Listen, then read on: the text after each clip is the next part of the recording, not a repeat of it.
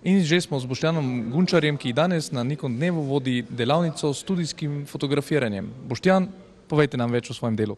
Prvič lep pozdrav. Zdaj, studijski fleši so eno specifično delo, ki ga normalni amaterji fotografski večinoma ne srečujejo in zato jaz verjamem, ker je bil tudi očitno zelo velik odziv, zelo veliko zanimanje, da je to nekaj posebenega za njih, pa tudi za mene konc koncev še, zved, še vedno.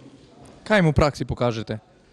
Torej v praksi jim pokažem, kako fleši sploh delujejo, razložim princip, kako se fleši med sabo prožijo, potem pa kako delati z modeli, kje moraš biti pozoren, kako luč nastaviti, pod kakšnim kotom, jakost svetlobe, ali ostra je mehka svetloba, nekaj podobnega.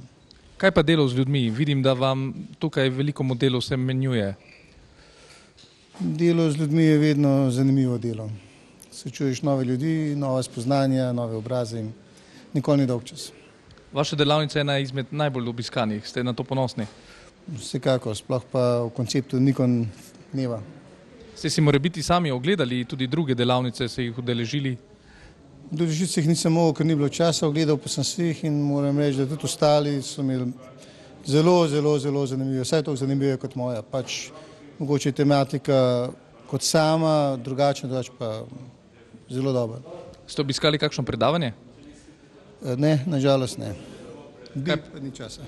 Kaj pa nov favorit, Nikon D3X, novo orodje? Uh, moj naslednji aparat bo ta aparat. Super, vsega že veselite. Vsekakor.